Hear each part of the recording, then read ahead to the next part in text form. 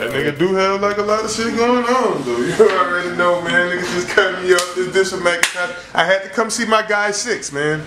You gotta come get laced by six when you get what you need. You got a situation. You need to get somewhere. Come holler at him.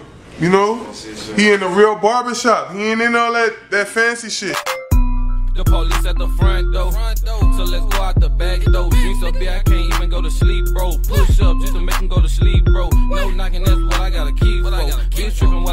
with your feet.